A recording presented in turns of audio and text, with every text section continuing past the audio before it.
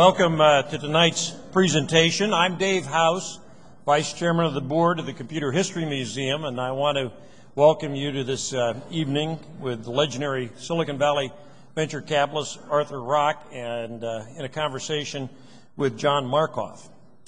First, let me ask, uh, raise your hand if this is your first uh, lecture here at the museum. You've never been to a lecture before. I'm always amazed at how many first timers we have at each of these events. Welcome tonight. We're happy to have you here. This lecture is the first of three that were made possible by the Gordon and Betty Moore Foundation in a recent grant that they gave to the museum uh, documenting the history of semiconductors up to the integrated circuit. This is a $546,000 grant to study, both study and educate people about the history of the integrated circuit. It includes the development of some exhibits, including one for our timeline exhibit that will uh, open up late in 2009. And it'll also help with educational programs that'll improve the science literacy of Bay Area students. This program is all being conducted under the auspices of the Semiconductor Special Interest Group here at the Computer History Museum. That's one of three special interest groups, one featuring or focusing on software, one on uh, rotating magnetic memories, and the third on semiconductors, three key technologies that made computing possible. If you would be interested in working on the Semiconductor Special Interest Group, David Laws is a member of the staff here at the museum, and he's the person to contact if you'd like to volunteer, and I'd encourage you to do so. I co chair that committee. Now, uh, there's a uh, survey that we have tonight uh, that is, I think, on your chairs. And uh, we'd like you to fill out that survey to help us evaluate our, and improve our program. It's part of our continuous improvement program. And as an enticement for you to do that, we're going to offer three copies of this new book. It's a beautiful coffee table book called uh, Core Memory, a visual survey of vintage computers, featuring machines from the Computer History Museum. It's done by uh, photographer Mark Richards, and it contains the most phenomenal pictures from our collection. Really interesting book with commentary on each of these various uh, items something that you'll want to have. We're going to give away three copies tonight. We're going to have a drawing. You hand in your survey at the uh, end of tonight's program. You'll be entered into this uh, drawing, and we're going to pick three winners from the survey. People can um, uh, complete their surveys, and we will be notifying you by mail if you're one of those three winners. Core Magazine is the museum's signature publication for our members. It's in uh, the final stages of completing the next edition. You should expect to be seeing that in the mail in the month of June, so keep your eyes open for that. And uh, one last thing about the Computer Museum is a exciting exhibit that's going to open in September of this year titled The Victorian Computer. Charles Babbage in 1822 first wrote about the design of his difference engine. It was a mechanical calculating machine.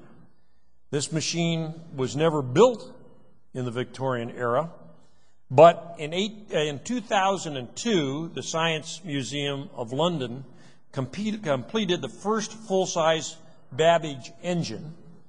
And interestingly enough, it worked. Now, this uh, set a new Guinness World Record, displacing Microsoft for the longest development ever.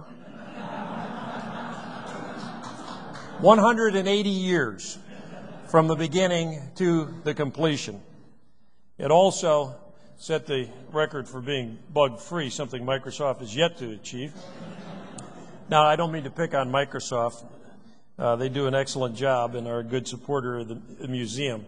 But I think all of us who've worked in com- the computer industry and the information industry understand the complexity of products we design today and the issues uh, with getting it right. And it's amazing that somebody could design this product uh, 180 years before it was completed and have it work uh, uh, successfully. Now, the first engine was completed by the Science Museum of London and is there. It was completed in 2002.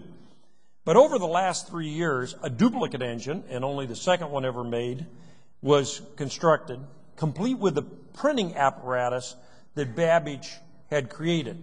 He created this machine because of the many errors that were found in calculations in table form, and he knew one of the primary or one of the important causes of errors was the transcription after the calculation was made to the actual printing. So he produced a device that would actually make the printing plates for these devices and designed that as well. And, and the second machine has that printing device attached.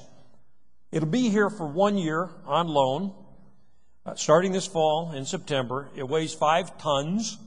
It's a big piece of machinery. There's 8,000 pieces inside it. You'll be able to see it actually operate and do its calculations.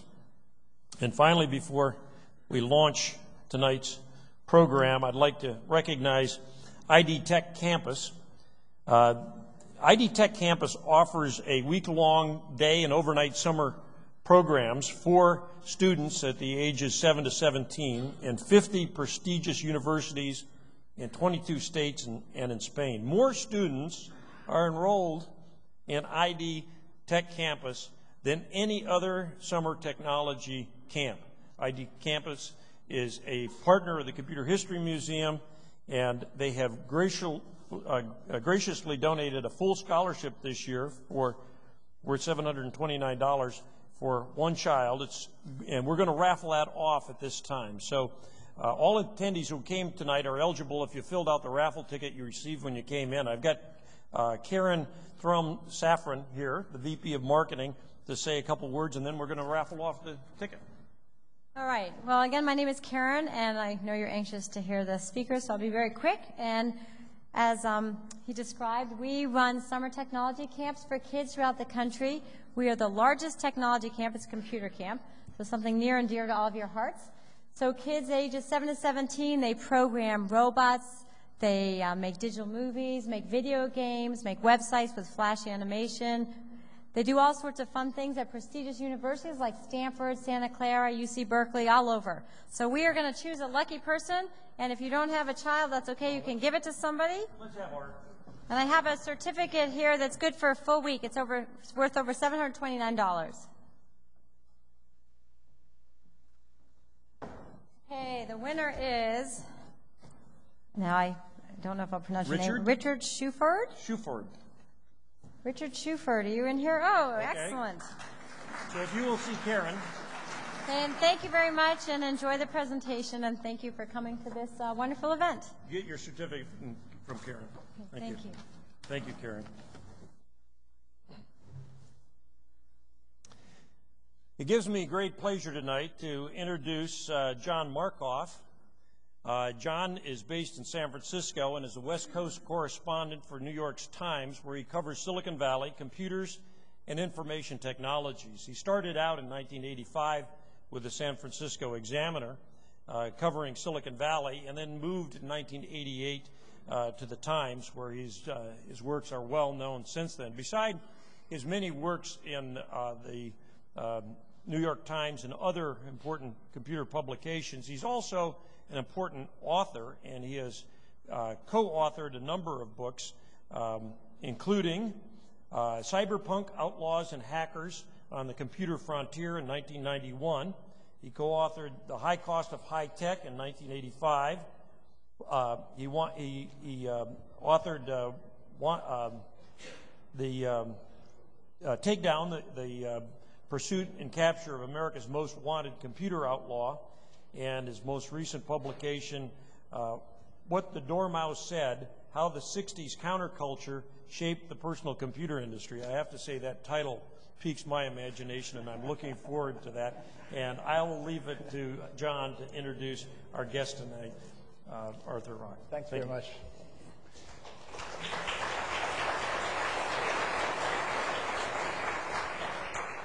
Good evening, everyone. this is a real treat for me because if you grow up in Silicon Valley and you know you follow the lore of Silicon Valley, Arthur Rock is always part of uh, the, the, the Valley's lore. So I'm, I'm really looking forward to, to, uh, to talking with you tonight. Um, our guest, Arthur Rock, uh, grew up in Rochester, New York, and his family owned a candy store where he worked when he was growing up. I'd like, I hope we can learn more about the candy store as the evening goes on. Um, he was one of America's first venture capitalists, and, um, and as such, he played a seminal role in creating Silicon Valley. Um, he persuaded the so called Traitorous Eight to leave Shockley Semiconductor and found Fairchild Semiconductor. Later, he would help create Teledyne, Intel, Apple, Intersil, uh, Scientific Data Systems, among others. I read that between 1961 uh, and 1968, uh, his firm, uh, Davis and Rock, invested three million and returned 100 million, which is sort of the, the I guess that's the, what, what, we mean by venture capital returns, as, as we would like them to be. Um, I wanted to start this evening um, by asking uh, what brought you to, to, to, uh, to Silicon Valley? You, you, didn't start here, but you came here very early, and something attracted you. What was it? Well, what attracted me was at first, uh, uh we, I got this letter from uh, Gene Kleiner uh, when I was in New York, and it was actually written by his wife, suggesting that eight of the seven of the scientists at Shockley uh, were not happy there, and could I find them a job? And together, so they could work together instead of spreading out. And uh, this piqued my interest, and uh, together with one of the managing partners of Hayden Stone, uh, the firm that I was with on Wall Street, uh, we came out here and uh, got the idea that perhaps we could form, agree to form a company and um, and then see if we could get uh, uh, one of the companies that had told us they were uh, looking for scientific to expand in the scientific area to uh, invest a million and a half dollars. And we went to all of these companies, 35 in total, and all of them turned us down uh, because they didn't see how they could culturally uh, invest in a subsidiary and not upset their um, uh, their employees. So we were about to give up when um, someone had suggested we see Sherman Fairchild. And we did see him, and he was excited by the idea. And he got one of his companies, Fairchild Camera and Instrument Company, to invest the million and a half dollars. Um, and that's how I started coming out here. So at, first, it was a business deal. There was. Oh, definitely. Yeah, there was no there was, uh, there was no, uh, the, the, the, culture that would attract you later, did, you didn't, I mean, you were on track to become an, you were an investment banker. I was an investment banker, but I always wanted to do new, new companies, new startups. Uh, and I had done several of them uh, while I was at Hayden Stone. Were they technology oriented already? Was, most of them were. Okay, so you were, even though you weren't a technologist by background. I'm not a technologist by background, nor am I a technologist today. the interesting thing about that Fairchild semiconductor deal was that there were seven of them to begin with, but they talked Bob Noyce into joining them. So then they became the treacherous eight. And uh, so we divided up the company. Um, they each got um, I think it was 10%. 10%, which, which amounted to 80%, and Hayden Stone got 20. And that's where the famous 80-20 began with. For all you venture capitalists, if there are any in the room, you can thank me for your 80 per, for your 20 percent. uh, when Eugene Kleiner wrote you, what was he doing, and, and how did he find you? His father had a customer's man, with, which were brokers in those days, uh, and uh, he wrote to his father's broker, and and he turned it over to me. And the letter came to your desk. Correct. Yeah, interesting. And at that point, um, had you were you exposed to computing? Um, and uh, you had you had invested in a transistor company already, or was it? had, we had invested in a company called General Transistor, um, which uh, made trans, uh, germanium transistors, not silicon. And the computer, th- those uh, devices were used primarily in hearing aids. I have a hearing aid now that doesn't have a transistor in it. But um, at that juncture, uh, you still had uh, you had no sense that there was something special or different about computing than other industries. Uh, No, no. It was just it was a good business deal, and Well, it, it was it became obvious to me uh, while we were doing the general transistor deal that these transistors were going to be used in more than uh, hearing aids, and uh, they just starting to be used in computers. And uh, you know, I had no idea, of course, that computers would become as become uh, uh, uh, um, as widely used as they are today and for such scientific purposes. But it was obvious that there was a future there. yeah. I'm I'm also interested in, in what would ultimately cause you to cut the ties with the East Coast. You had you'd gone to Harvard, is that right? You'd come Harvard. through Harvard Business School, so you were you were kind of on that cultural track to to to, to be an investment banker for your career. why would you Why would you give that Well, up? well, when I started coming out with uh, Fairchild Semiconductor, I realized that there were a lot of small companies around this area that were looking for capital, and the capital was all in the East. And that I thought that maybe I could bring some of the Eastern capital out to the Wild West. And at that point, Wild, I mean, it was no longer, it was, it was, I mean, the electronics industry was on the East Coast. IBM was there, the, the old mainline electronics firm. Did, did you see something? I mean, when you Well, I, I saw that the people were much more entrepreneurial here and uh, were willing to take on ch- chances that people on the East Coast were not.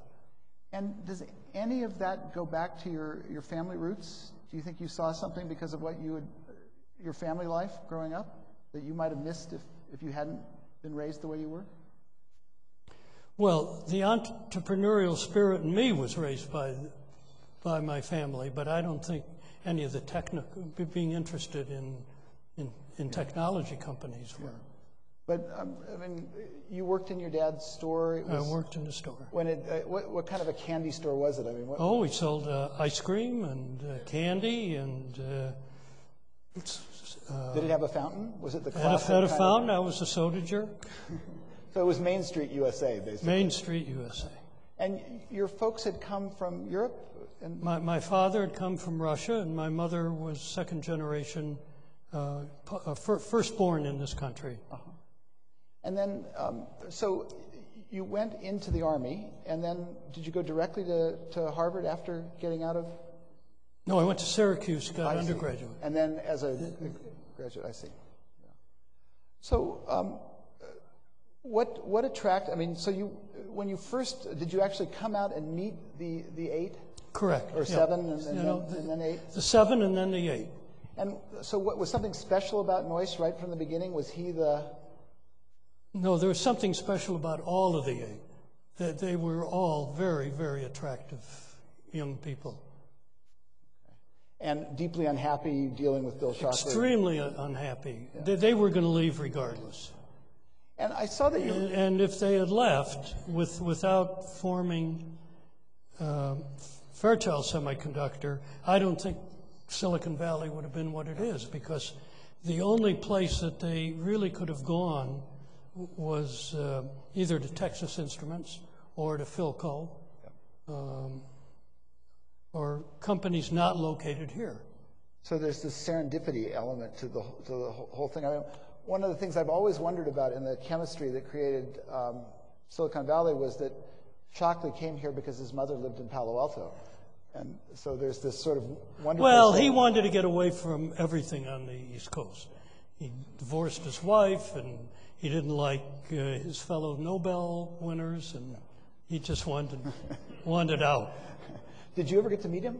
Or Never met the man. were, and did he hold you ill will for taking his? No, he did not. As far as I know, he didn't hold me in ill will, but he hold, held all four, eight of those. Yeah. yeah. Um, and so, um, also, I'm very interested in the, the fact that there were 35 companies who were all interested in the technology but were unwilling to invest. That you, you went to, I mean, what was it about the culture at that time that, that these, nobody would take a risk until you ran into Sherman Fairchild? Well, th- these companies uh, all had order and uh, and form, and uh, none of them were could see how they could set up a separate division and give the people operating that division uh, a larger profit, if you will, than uh, their own employees were getting. They didn't see how that could work. It just wasn't in their mindset uh, options were practically unknown in those days. Yeah. And um, did you did you distribute options to the uh, right from the start with uh, with at Fairchild were options used, or did that come come later? They came later, and that was the bone of contention that really caused the eight of them to leave at various times. Because, again, uh, Sherman Fairchild had passed away, and the company was based in Syosset, Long Island, and they were a real East Coast company, and they just didn't want to give options to employees. And uh, Noyce and Moore and the others all felt that uh, they had to have options to start competing for employees.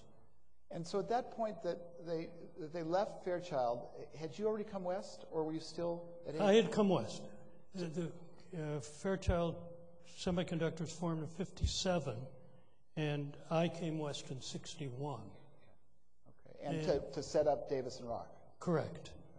And who was Tommy Davis, and how did you meet him? And Tommy Davis uh, was uh, a vice president of Kern County Land Company in uh, charge of their diversification program. Kern County Land had royalties from land they owned in Bakersfield, oil properties. And um, the first company he had formed was Watkins Johnson. And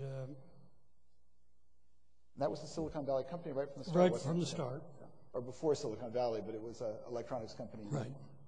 And uh, they, uh, they made lasers and traveling wave tubes, that sort of thing. And um, it was going along fairly well. And the way I'd met them is that they wanted to take uh, um, the company public. And uh, Hayden Stone, I think, as I recall, Hayden Stone did that. I'm not sure. But in any event, Tommy then wanted to go on and do other uh, type deals like that. And they said, no, no, no, no, no, wait a minute. We want to wait and see how successful this company is. And Tommy got unhappy with that decision. And he and I then decided to form a venture capital firm. And how did you find your, your investors? They were, most of them were from the East Coast, people I had known. So, and it was a personal thing. It wasn't Yeah. institutional at that point. It- You could not, institutions could not invest in venture capital firms in those days. It wasn't until the ERISA laws were changed in 1972. So that that regulatory change, which brought in these huge pools of, of capital, came actually a decade after you had started. Absolutely. Venture capital then was well established as a as an enterprise by the time that sort of accelerated. Well, there weren't too many other firms until uh, that was done, until 72. Uh, we started with uh, $5 million. I mean, that's hardly an investment in one company today. And that would come from a pool of how, about how many investors was that? Oh, I think we had about 15 or 20 investors. And, and did you guys go back east and, and, I mean, what did, I mean, what did you take with you in order to, to persuade them? It was a totally new idea at that time, Well, they, knew me. These investors had known what I'd done at Hayden Stone, and? And was Fairchild a, a, a success by that time, so you had yes, that on yeah, your? yeah, right. And uh, so, in your equation, where did Stanford fit? I mean, was Stanford, you know, there's this model now, but did that model, uh, I mean, did you know of Terman that early, and were there graduate students around, and were they entrepreneurial? Did you see any of that at that juncture?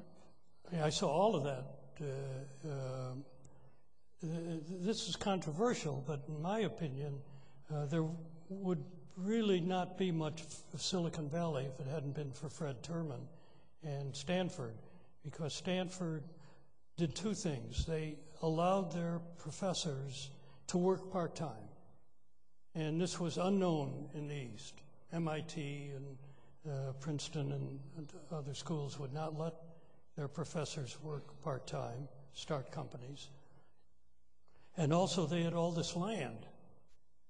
And uh, they allowed uh, these companies to uh, rent uh, or, or lease space from them. And the way I understand it, Terman actually set out to do that intentionally because he didn't want his students to have to go back east. That's right, that's right. And so, I mean, uh, could uh, could you walk the halls and look for students with ideas, or did they did they come to you? Well, we were the only game in town, so they all came, they all came to us. We, we didn't have to go looking. And, and at that point, was Terman dean, or was he still? Uh, well, when I got to know him, he was dean. I, I'm not sure what he was in the beginning. And uh, I think his his protege was a man by the name of John Linvill. Was he? Do you remember Linvill? No, no, I don't remember him. So it- was Terman though who was the. He, uh, he was the, the lead. Yeah. Um, I saw in one of your interviews mentioned the fact that one of the things you did early on uh, was selling magazines door to door. Was was that your first job, or was that a job along the? Well, I was pretty young when I did that, so it must have been my first job. Was yeah. it was it hard work? Not especially. I, I enjoyed uh, the commercial uh, life. Yeah. And were you successful? Yeah, you- yeah. I, well, I sold a few magazines anyway. Saturday Evening Post and Liberty. That was the big seller. That's great. That's great. Um, so one of the things that I saw you mentioned that, that I, I was intrigued with, just because I always thought that the um, integrated circuit um, came into being in part because of the need to squeeze more circuitry into the nose cone of a ballistic missile. And I saw you talked about the heat issue in one of your interviews that uh, germanium was problematic, and one of the the uh, attractions of silicon was that it had a wider temperature range. Correct. So it wasn't so much the scaling of the circuitry initially, but other No, properties? I don't think so. Although, you know, my memory's a little fuzzy there. But as I recall, uh, the first big business deal that uh, uh, Fairchild Semiconductor did was with the uh, Space Bureau.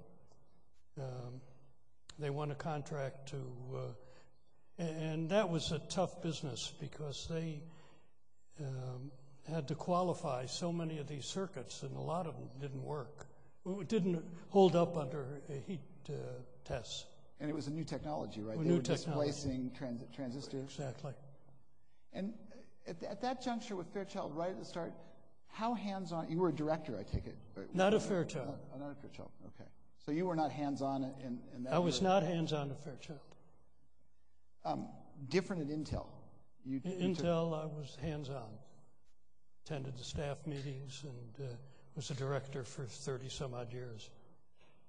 And, and so, um, do you remember the, the, um, in 1965, when Gordon Moore sort of observed this doubling of, of density, was it a big deal at the time? No, no. Didn't think anything about it? I didn't think anything about it, and I think Gordon is now going to be known more for his law than for starting Intel. Um, and, but at, at that point, um, did you, I mean, was, was, was sort of scaling something you intuitively understood, or did, I mean, was it not part of the sort of common parlance before Gordon sort of evoked that with his, his article. Well, I think Gordon just observed this and, uh, and, you know, said this is the way it has been probably, and this is the way it probably will be. And I don't think it was any more than that at first. But now it's, it's, it's so much of the culture of the valley. I mean, particularly in terms of, in, uh, uh, of industries where the, you know, the children eat their parents and opportunities that come at regular intervals. And you, you didn't see any of that in the. No, no. Um, t- tell us a little bit about scientific data s- systems and Max Palevsky. Max Palevsky.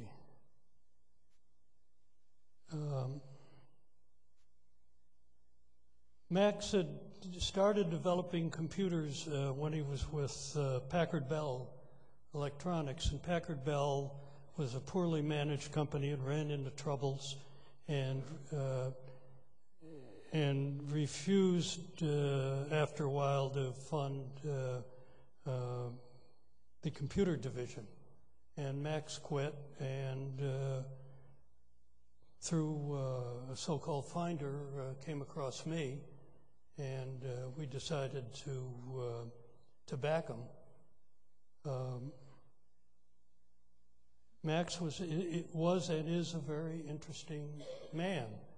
Uh, his style of leadership, which worked very well while while he was running the company, he was a very very good manager. Um, but his style was different than most people's style. His was an easygoing, slap you on the back, put feet up on the table. I think he was the first executive I ever came across who didn't wear a tie. Um, and that's the kind of a guy he was, and uh, and uh, we uh, he finally decided that what he wanted to do was really not be in the computer business, but make enough money so that he could be with the beautiful people. And that's what he's done. And that's what he's done. And at that point, was the, the target market was scientific computers, but scientific computers, but was it also IBM? Was it? No, we were. Were you trying to avoid IBM? We, we, we were trying to avoid IBM, and we had a, a rule, uh, more or less, for the marketing department that unless our computer could give four times as much value as an IBM computer, we wouldn't even go after the customer because it was IBM. You couldn't make a mistake with IBM. But was there enough headroom that you could do that frequently? Yeah, we did it. We did it very, very well. And, and I think I saw that you said that SDS was one of the first companies that actually gave stock options to, to all employees? No, that was Intel. Oh, that was Intel. I see. Okay. We did give options at SDS, but uh, primarily only to the executive staff. And were you involved in the decision to sell to Xerox? Very much, because uh, as I said, Max one didn't want to do this full time, and uh, we had a, we got an offer that we really couldn't refuse, and it's pretty interesting. The reason that Xerox wanted to buy, we found this out a year later or six months later. The reason Xerox wanted to buy SDS was because IBM was going into the copying business. And Xerox felt that they had to, in order, they had to be in the computing business. So a few months after they bought us, the company was going, they changed the name to XDS, which was fine. And um, a couple of months later, they came to us and said, hey, look, you guys are making scientific computers. That isn't why we bought you. We want you to start making business computers. And then they put in a few of their own executives uh, at XDS, and within 18 months, the company folded up. And it didn't have to be that way. I it don't think so. Classic business. I don't think so. I think it was one of the classic cases of mismanagement I've ever heard of. Yeah. there are others, but.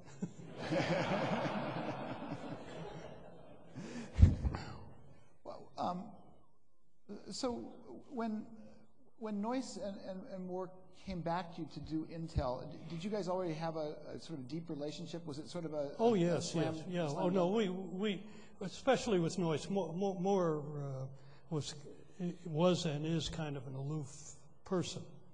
Um, He's a wonderful man, but he's uh, not, but Noyce and I had a great relationship. I think I read that you wrote the business plan for Intel? Two and a half pages, double spaced. Is, is there a lesson there that still holds today? Well, the lesson is that once you get the lawyers involved in, in, in writing these plans and making sure that you can't be sued for anything, the plans get up to two and three inches thick. Yeah. Do you remember anything? It was, it was a plan to describing um, solid state memories? Is, is that? No, it was a plan devised to say nothing. I see. I see.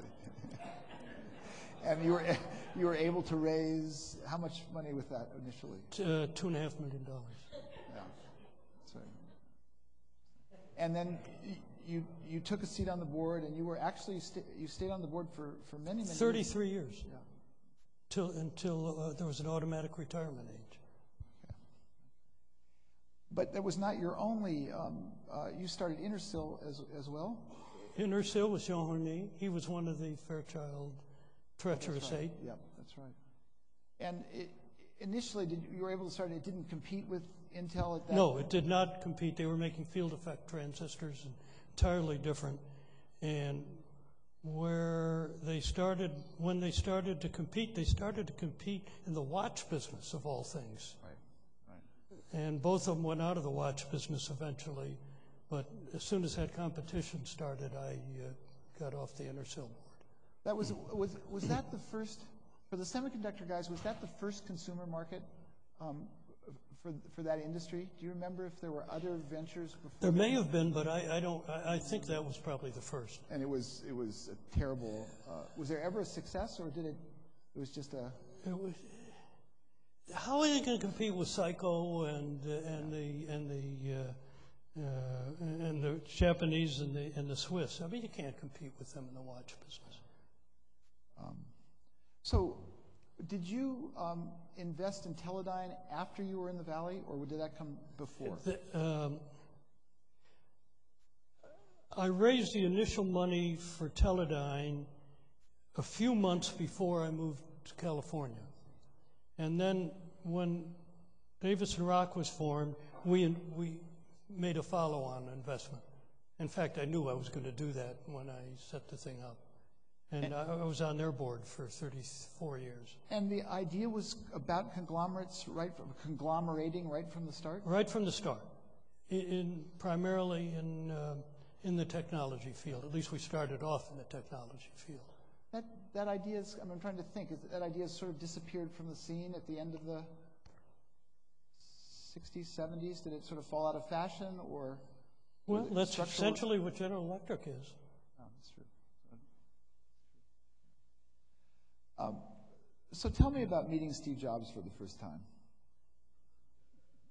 Well, my friend Mike Markkula here is responsible Is, for all for all of this.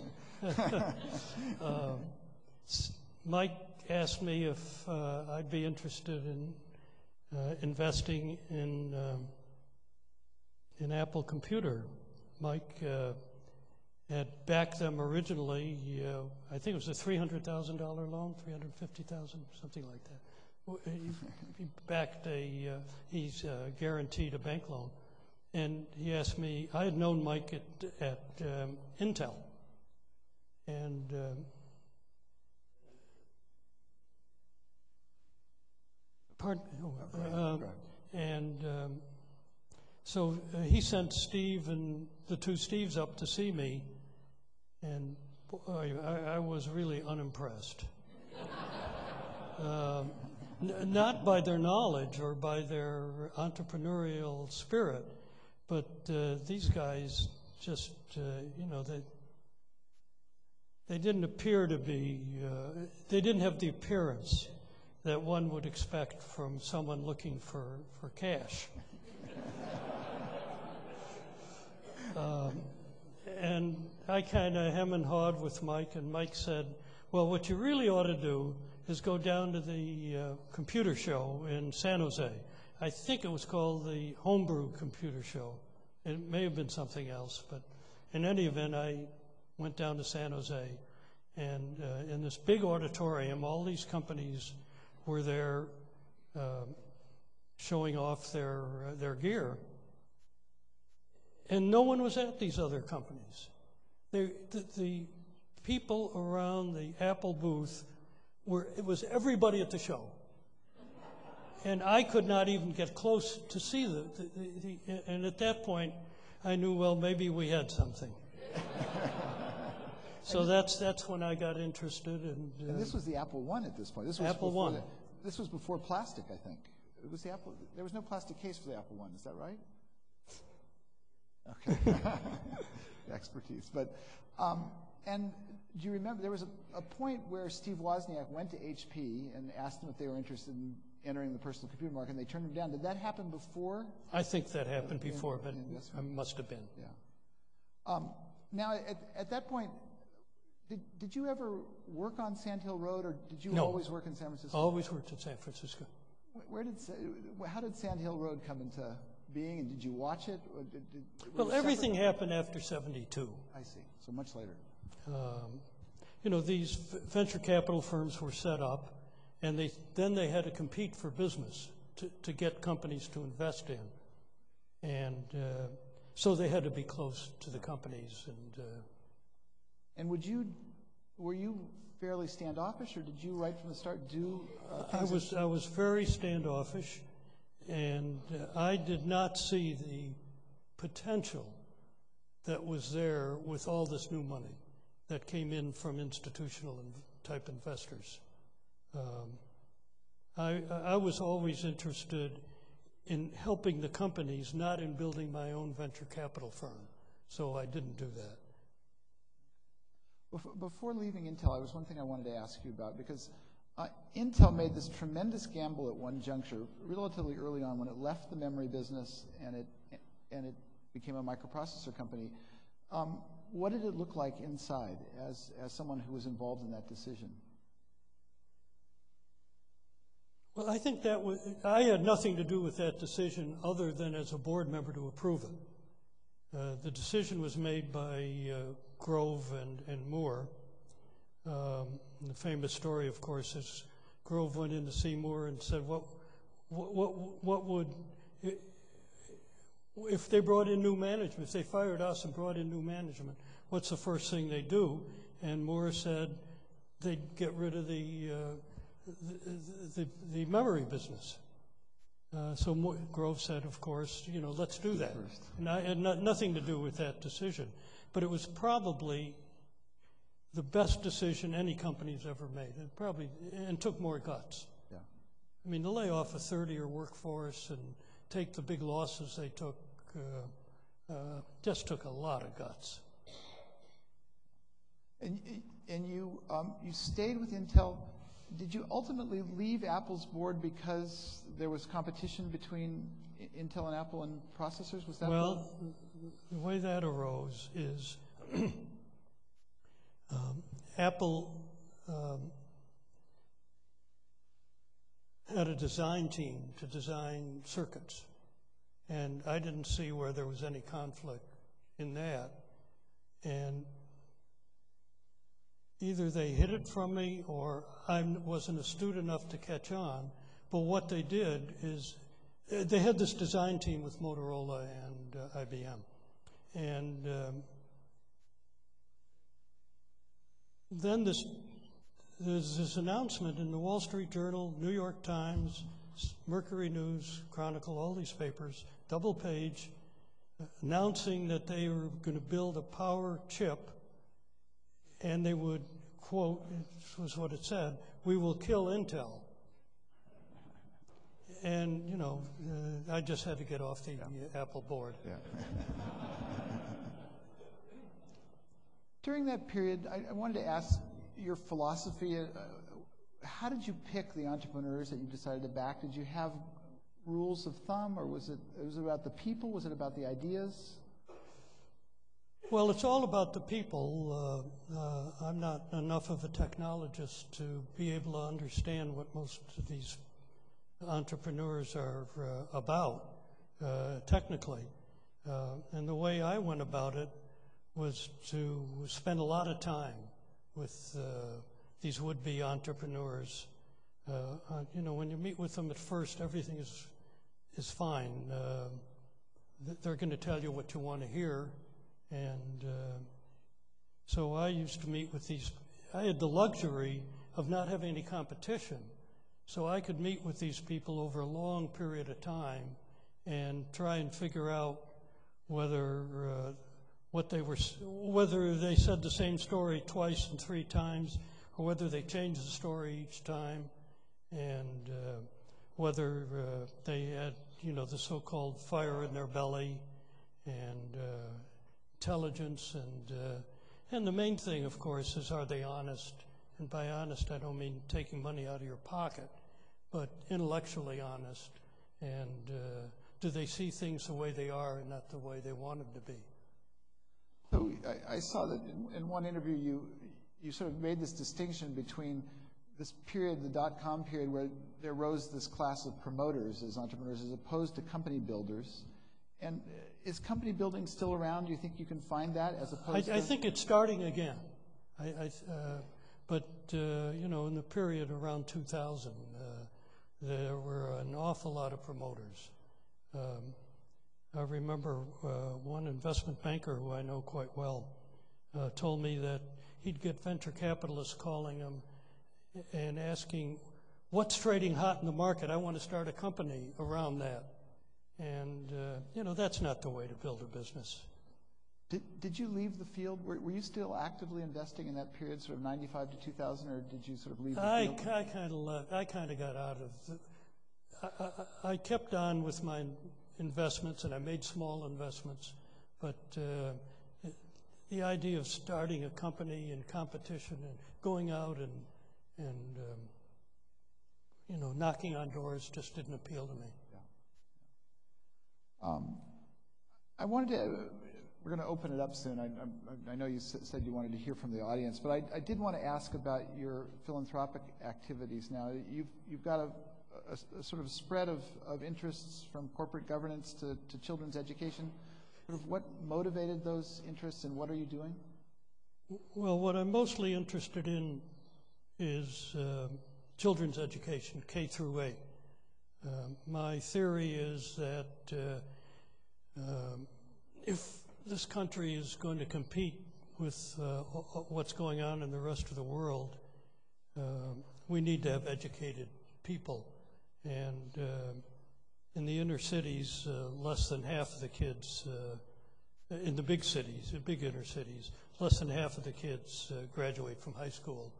And that was okay many, many years ago when these people could, you know, go into steel mills and automobile factories and use their brawn. But today, this is all done by computers, and unless you have a, least a high school education, uh, you're not going to find a job. And uh, I think it's just going to be a terrible thing for uh, for this country, and our education system stinks. Um, and uh, Do you do that by finding programs that are promising? And how, do you make a difference? Well, I've got a, a few programs. Uh, the Basic Fund, Bay Area scholarships for inner city kids. At the moment, we're giving scholarships to 4,500 kids in the Bay Area to attend private schools, 420 schools, I think. And then I'm uh, interested in uh, Teach for America, and I guess everybody here must know about that program. And um and also I'm getting interested in KIPP. Um, and I'm trying to spend most of my time and give uh, uh, monies to those kind of endeavors. You've also focused on corporate governance, and I, I, you know, you've, you've helped create centers both at Harvard and Stanford that I, that I know of. Is that correct? Well, no, um, Harvard is uh, is not corporate governance; it's entrepreneurial uh, activities uh, to encourage uh, them to teach uh, entrepreneurial. Uh, and they're doing a great job there. They have a building and uh, and are developing courses, and uh, as far as I can tell, they're doing uh, doing well. Um, the Stanford, I, I know knew know Joe Grundfest quite well, and he's interested in corporate governance, and um, seemed to me as though all of the corporate governance activities were uh, in the East Coast again, and um and there were n- nothing here on the West Coast devoted strictly to corporate governance, and uh, there were a lot of problems uh, here, as we found out, and um so I helped set up a, center for corporate governance, You know, or Toni and I did. Yeah. Did, did you, um, did you, uh, uh, you're referring to your wife, is that correct? Correct. Yes. Yeah. Um, uh, Did you come away with strong feelings, one way or another, on the impact of Sarbanes-Oxley and its efforts to, sort of right some of the, the wrongs of the, Yeah, I, think that the Sarbanes-Oxley law ought to be repealed. Uh, I think it's a detriment to our uh, corporate activities. The only good part of Sarbanes-Oxley, in my opinion, and I, I get some feedback from other people on this, uh, is uh, that the CEO has to sign off on the financial statements. Other than that, I think it's a real waste of time and effort, especially for small companies. Let's, let's open it up to the audience. Uh, We, we wanted to ask people to go to the two microphones on either side of the room, and please uh, introduce yourself, but um, have at it.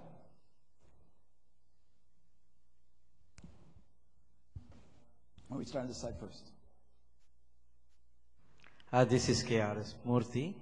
Um, now that China, India, and other countries have emerged as entrepreneurial countries um, with not only service oriented but also manufacturing, uh, product development, etc., in the new technologies as well, like nanotechnology, what is your vision of how the venture capital side of it I'm sorry, I, on the venture capital side of it, how would it be different done in other countries compared to what was done here by us in Sand Hill Road and and uh, pioneers like you in uh, you know in the earlier times in the venture or private placement memorandum kind of a thing that we. What's your vision for the international? So international? the, the role of venture capital outside of this country. yeah, how will it be different? You know, I mean, they do they take the ta- same templates and have a cookie cutter approach? I don't think it's different at all. I think it's the same players doing the same things. Okay. Um, Let's go back and forth.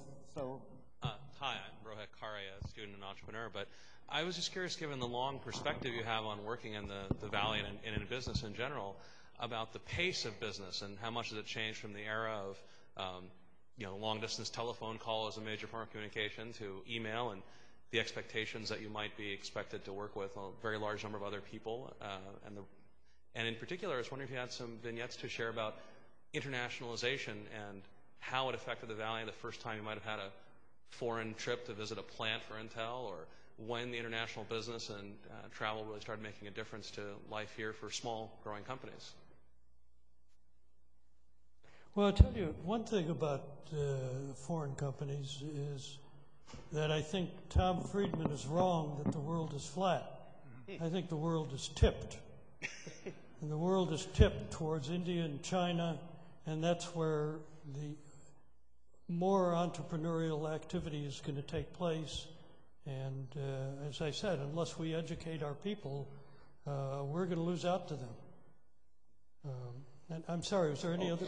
I asked a question about the pace of business and how it's changed, the rapidity of, The amount of travel required, you know, that sort of thing. A lot of travel is required. People are going. I, I, I don't really don't get the essence of your question. Well, I was curious. uh, For example, in the history of Intel, at some point they started investing significantly overseas and building new plants and so on. One might have imagined they'd have board meetings abroad or at least tours of the factories. I mean, just curious if there are milestones you can think of when you said, boy, we're making a huge percent of our revenue overseas or any milestones of that nature. guess when, was there a point at which Intel became a global company that you really, it really struck you that uh, the world was different? Well, we, I think Intel started, uh, I think, uh, over 50% of our volume came, uh, oh, probably about 10 or 15 years ago from overseas. And um, started off primarily with uh, uh, Japanese customers. And um, gradually, I think now India and China are Intel's biggest customers. And uh, we have plants, uh, putting up plants all over the world. I, I think in 1997 or so, Andy Grove co- coined this term internet time, just to try to, to deal with the acceleration oh, yeah. of oh, everything. Yeah. Oh, yeah. Um, did, did you ever uh, get the sense that you know there was this rapid acceleration in business and that Oh, yeah, that, that was very clear. And uh, as, as a matter of fact, I just uh, uh, invested in a uh, venture capital firm that uh, is called Asia Alternatives. Um, Michael? Hi, I'm Michael Riordan. I'm on the Semiconductor Special Interest Group here at the museum, and I've written Crystal Fire, the history of the transistor. And I'd like to take you back to the 1950s. I've written about Shockley could you hold the microphone a little closer? I've written about Shockley Semiconductor and the origins of Fairchild. In your memory, were there any other instances before that where a group of engineers, scientists from within a company decided to leave, get what we now call venture capital, and start a new company? Or was this a first? Were there anything like it? Anything comparable? I, I, I, I'm- I'm sorry, I have trouble Oh, Yeah, hearing. sure. He was wondering if um, the departure of the eight from, um, from Shockley was the first instance of that kind of uh, event, of eight employees leaving and looking for outside investment. Um, Did did anything uh, crossed your desk like that before? No, no. This was sociologically and culturally a first. I believe so, but, people I- are leaving, leaving all the time. and, I, and I think it's important, from my own perspective, that it was enormously successful. Well, it certainly was the first successful one. I don't know whether there are others that weren't successful that we never heard of. History will know. Okay. Brad? I have a question for the audience. Um, I was brought to Silicon Valley as uh, the first employee of a company called Personal Software, and you may remember Venrock uh, was one of the people to fund that company. It didn't come on the best of times in its later life, so you can't have everything. But I wondered how many other people in this room also got their start in Silicon Valley in part due to the contributions of our guest. Uh, Oh, well, it's not as many as I hoped. I thought that would be a charge for you. It would be a bigger number. Um, but anyway, so thanks. Thank you. Lee Felsenstein? Y- Yes, that's my name, Lee Felsenstein. First of all, I just wanted to inject uh, some information. The uh, computer show in San Jose took place in 1978. It was not the Homebrew Club. That was different, but uh, definitely was this Apple II with its plastic case was there. Because I think that's the only time they had that, the computer fair in San Jose. And it was quite a show. Second, West Coast Computer Fair, the second one. Now, the question is that regarding your involvement with educational uh, development, uh, do you find that there are people coming to you with uh, technological fixes uh, for education?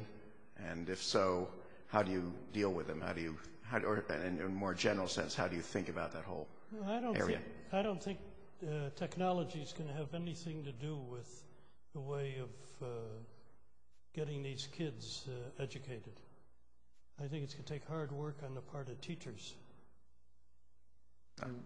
You're skeptical about a project like, projects like Nick Negroponte's project where he plans to give a $100 laptop to every kid in a country? I, I'm not, yeah, th- th- that's fine, but it's going to take a teacher to teach the kids. Yeah. Right, thank you. My name is Mike Pelzel. Uh, my position is unemployed right now, so I just graduated from college. But um, I was wondering, in your experience, you've seen both success and failure. And I was wondering what the key metrics to success are, in your opinion, whether it's a person or an enterprise or anything. Management. being able to recognize, you know, their mistakes and go on to uh, do other things and uh, get around their problems. Um, you know, there are all kinds of good ideas around, but they're very, you know, I, I once wrote an article called uh, um, um, uh, uh, Tactics versus uh, uh, ideas. Uh, what was it? Uh, I'll, I'll find it. I've got it here. Strategy versus Strategy versus tactics. From the- from the Strategy win, wins every time. Uh, tactics win every. tactics win every time. It's a way to do things that uh, that make the difference between success and failure. It's not the ideas. The ideas are a dime a dozen. And so then, are there are there naturals or are these things learned? They're not naturals, but they're people who can develop these skills. And, you know, that's part of what we're trying to do at Harvard is develop these skills in would-be entrepreneurs, make it easier for them. But uh, um, it's really uh, people. Okay, Mike Ritter. Um, I'd be interested in hearing what your worst investment was and how you could have not made it, what you would have had to know to not make it. You know, to- No, you don't have to answer. No, no, I don't know what the question is. Oh, I'm sorry. Um, he, he wanted to. He asked what your your worst uh, investment was and Oh, how you might have avoided it. Oh, easy. Uh, Diasonics. Um, Medical instruments company. Is that Yeah, correct? yeah. Um, we were the first company to make uh, an ultrasound machine for medical purposes other than what Hewlett Packard was doing in one small area of medicine. We were the first company to build an MRI machine, and we blew it. And the way we blew it was twofold. One is one was a strictly business question. Um, the MRI machine sold for a million and a half dollars, and we didn't understand that GE and Siemens would build the same machine, go to the hospital, and say, tell the hospital, try the machine for a year, don't pay us, see if it works. And a small company just can't compete against that. We, we needed to make the sale and get paid. So that was a business thing.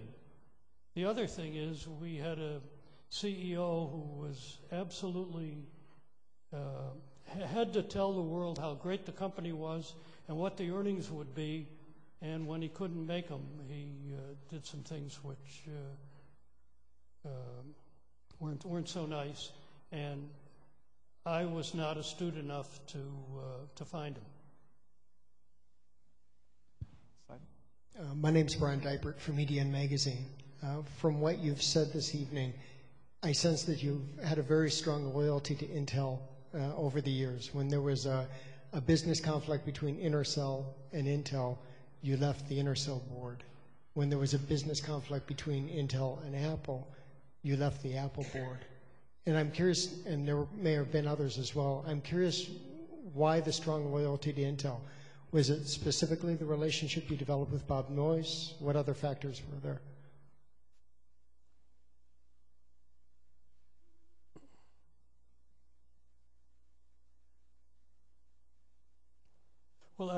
Been on the Intel board longer than any of those other companies, so I had a loyalty based on on time. And uh, I sure liked the people at Apple, and I liked the people at Intersil, um, but they had entered Intel's business. If, if Intel had entered their business, it may have been a different uh, situation. But when they entered Intel's business, I felt my loyalties had to be to Intel. Thank you. Hi, my name is Paul Cubbage. I'm a software guy. I founded a few software companies, including the Wollongong Group and Open Country. In 1969, I had a one-man company called Blue Sky Enterprises. And I always tell people the worst job I ever had is when I worked for myself. Um, on education, The Economist reports that in Europe, they looked at all the various countries to see which had the best educational system. And the best one turned out to be Finland, and seeing some of the successes that have come out of there, uh, it's very interesting. So they asked the Finns, being the economists, uh, how did you do that? And they said, we fired the administrators and put the teachers in charge. Absolutely. I was going to ask your opinion of that. Absolutely. Uh, Rod Paige, a former Secretary of Education, uh, said, and I have no qualms whatsoever about quoting him, that the teachers union is a terrorist organization. Yes. Thanks. I guess one last Uh. Mark Taylor, and I have a question about the retrospective of your career. And when you look back, how much do you feel was skill and hard work, and how much of it was luck? And if there was one piece of advice you could give yourself um, before you started the venture capitalism, uh, what would that be? Well, luck is a funny thing. Every there's luck all around. Uh, every, everybody has uh, has luck at one time or another. Sometimes it comes earlier, which was my case. Um, but it's taking advantage of the luck that and the opportunities. It's it's not the luck itself. I mean, you almost get killed by a car walking across the street, and you say, "Geez, I was lucky I missed that." That, but uh, you know, to take to take advantage of the luck is is uh, something else, and that's what good entrepreneurs do. And what piece of advice would you give yourself? Be lucky. This So, maybe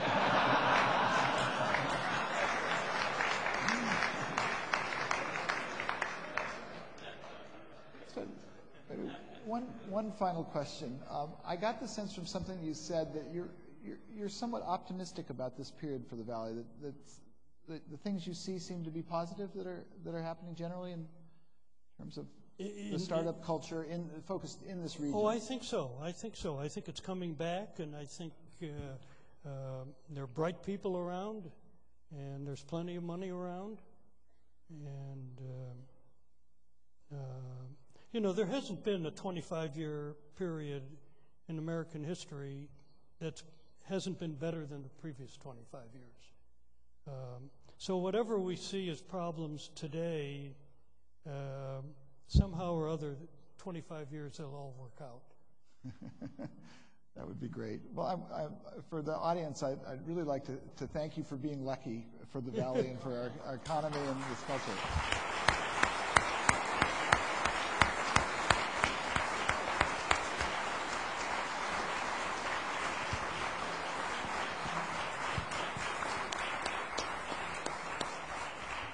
Thank you, John, and thank you, uh, Arthur. I want to just remind you to fill out your uh, questionnaire so we can have our continuous improvement program going. And I want to make uh, you aware of a very special event coming up October 5th and 6th of this year. Uh, we're celebrating Fairchild at 50. And uh, the afternoon of the 5th, we have a number of uh, talks that will be going on, and then a guest appearance by Floyd Kvamme that evening. And then on the 6th, we're having a nice big reunion party here. So uh, go to uh, uh, put Computer Museum in your browser uh, search engine and uh, click on Computer History Museum, which will come up first. Uh, and you'll be able to read more about that. So we invite you to all come. And um, I have just a small memento here uh, thanking you, Thank you for very tonight's much. appearance. Great. Oh, thank Whoops, you. I got, I got it backwards. I got Ar- Arthur here and uh, Lucky Bill. John over there. Okay, Thank very much. okay. Thanks very much. Thank you for coming. Thanks a lot. Thank you, everyone. Very nice. Thank you. Really enjoyed it.